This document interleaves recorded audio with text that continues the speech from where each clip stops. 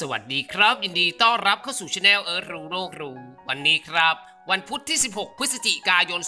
2565 จะมีการแข่งขันศึกฟุตบอลไทยลีกครับฤดูกาล 2022ถึง2023 เป็นแมตช์การแข่งขันกันระหว่างเชียงใหม่ FC จะพบกับสุโขทัย FC ในเวลา 18.00 น ตามเวลาประเทศไทย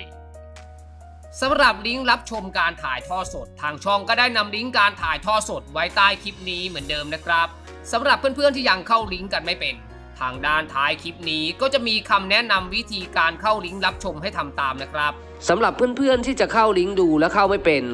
ก็ทำตามขั้นตอนตามนี้เลยนะครับ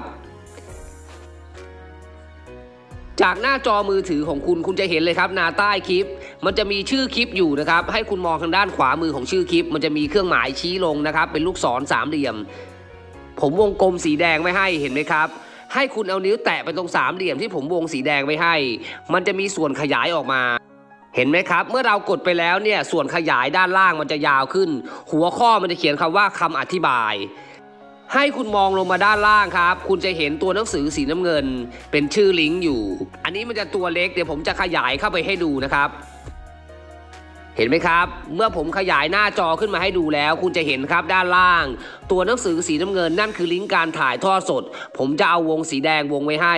คุณก็เพียงเอานิ้วไปแตะตัวหนังสือสีน้ำเงินนั้น เลือกสักลิงก์ใดลิงก์หนึ่ง ถ้ามันมีลิงก์เดียวก็อันนี้ก็มีลิงก์เดียวคุณก็เลือกอันเดียว ถ้ามีหลายลิงก์คุณก็เลือกลิงก์ใดลิงก์หนึ่งนะครับ เสร็จเรียบร้อยแล้วมันจะพาคุณเข้าไปสู่การถ่ายทอดสดนะครับ